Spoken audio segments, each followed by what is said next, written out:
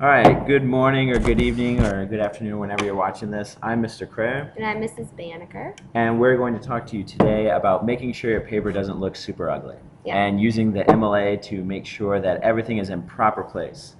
Uh, look at this beautiful, beautiful nice. essay right nice here. See that everything is uniform. Oh my gosh, I'm thinking A already. It's A already. clean. right? Everything's in the way it should be. If you go down to the bottom, they even have a works cited on its own page, and it's looking pretty good. So, Those margins are kind of narrow though, but we'll get to that. yeah, we'll see. We'll, we'll double check those.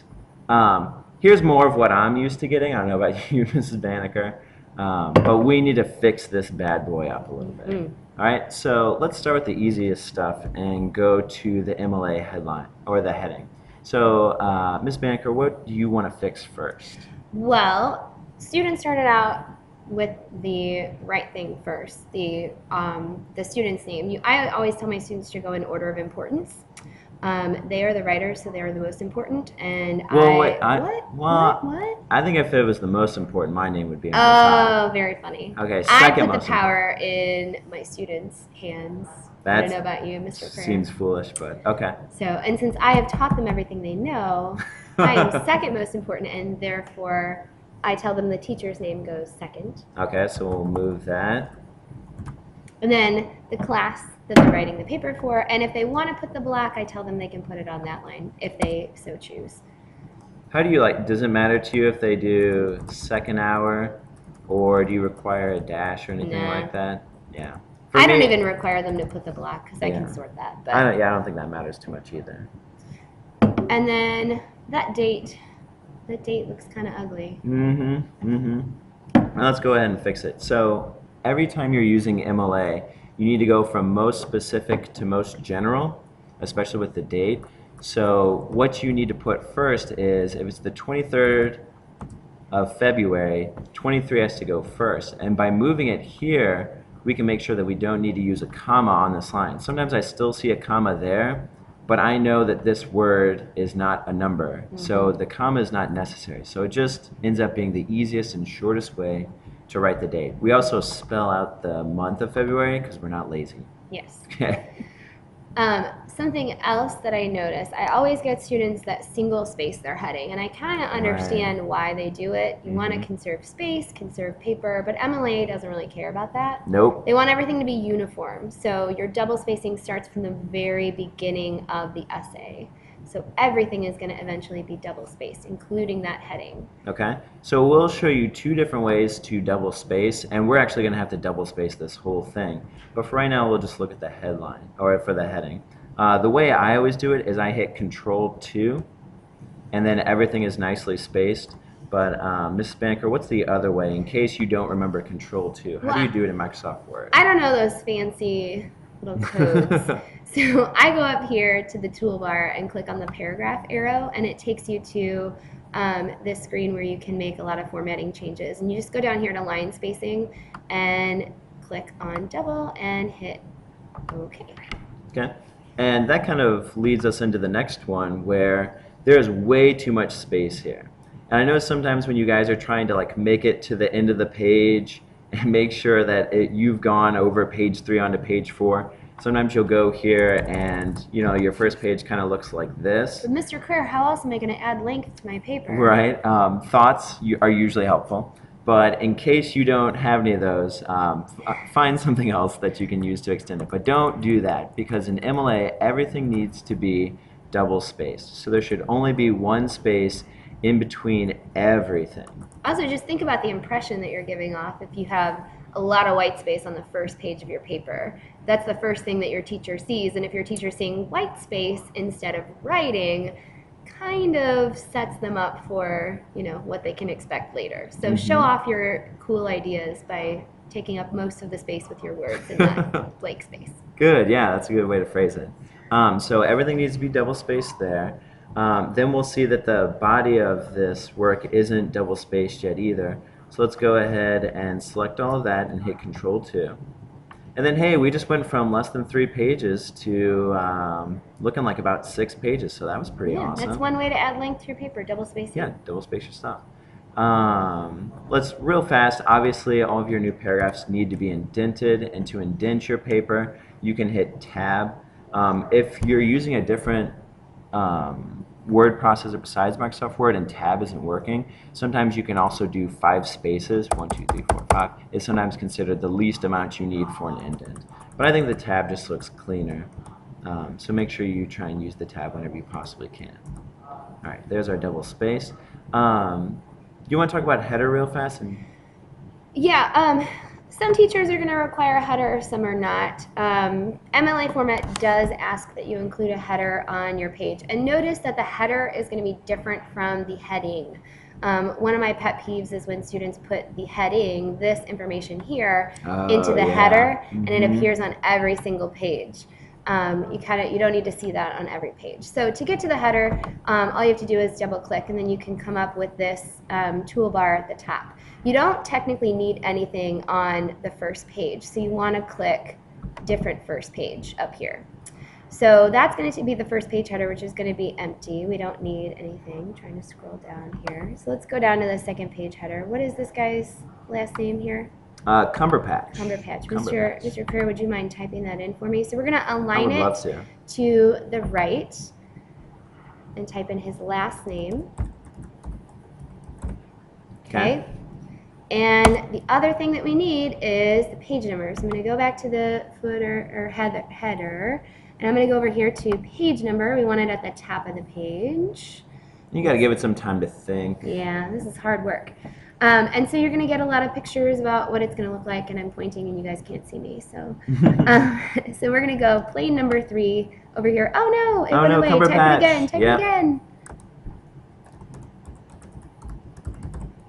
All right. And save. space between the two, and then all you got to do is just click off of that header, and oh look, the magic of the header and insert page number. Look, it's page three. Beautiful. So don't type in the number two in the header because then every page will be Cumberpatch page two.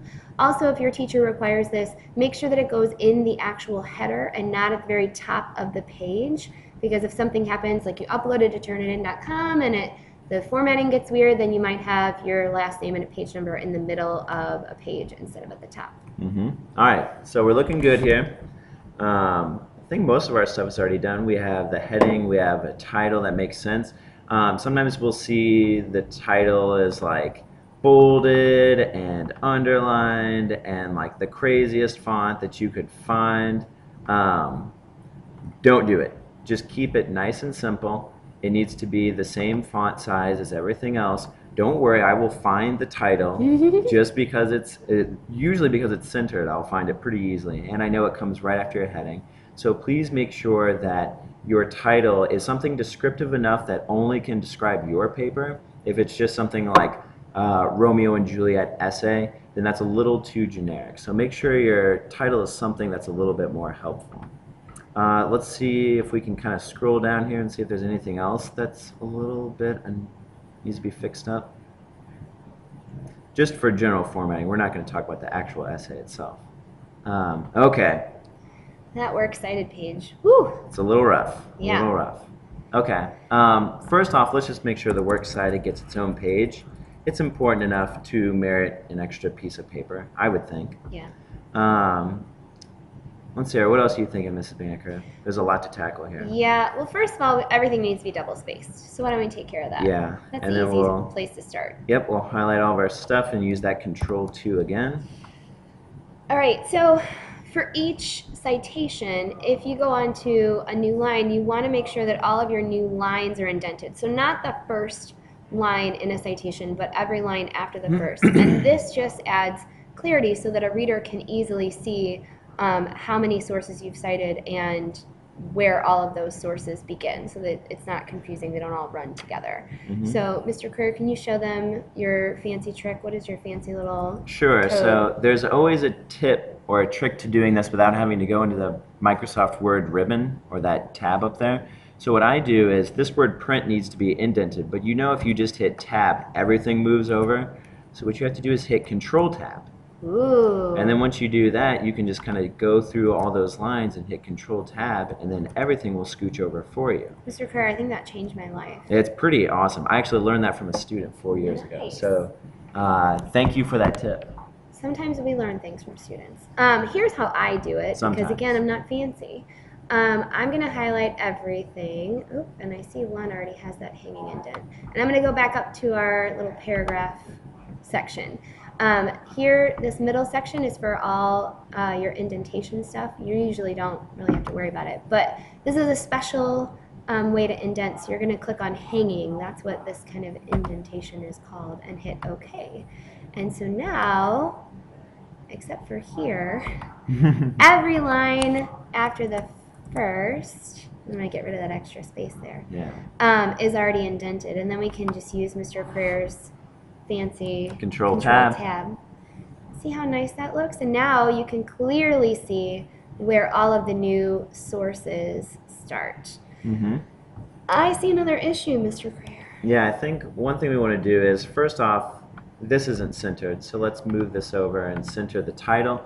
It needs to be works cited, unless you're only citing one work, then work cited would be proper. And works cited is C-I-T-E-D, it's not works cited, it's not works cited. Uh, yeah, I'm sure you did cite them at some point, as in you saw them, but works cited And you needs went to to a site yeah, to get them You went- yeah, usually.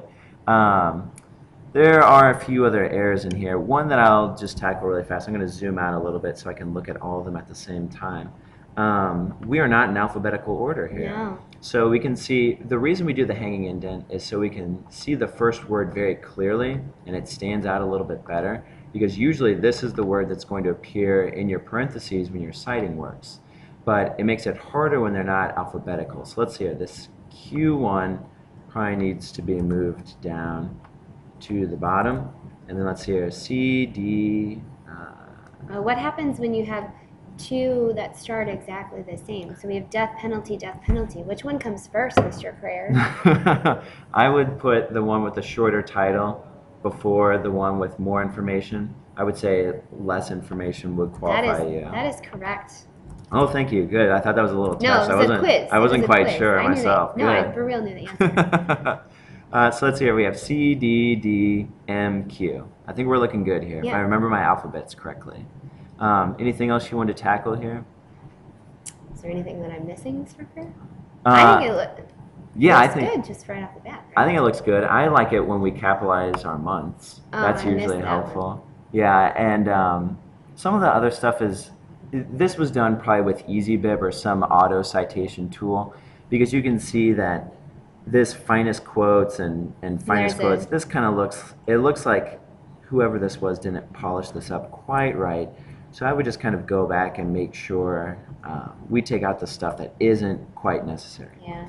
Technology doesn't always get it right, No, we have to double check. And then I would say MLA 7 require, doesn't require that, oh, oh, we forgot. And then here, I think this isn't, this website isn't, that's why it wasn't Oh, see, working. confusing. there we go, yeah. So instead of actually citing this one, the student just put a link to the website. Please make sure you go to a website like um, easybib.com and then get this taken care of. And you can put it in here and then take care of it. But that's a whole other video, and Yeah. we don't want to waste your time. So let's assume that we fixed that. Yeah.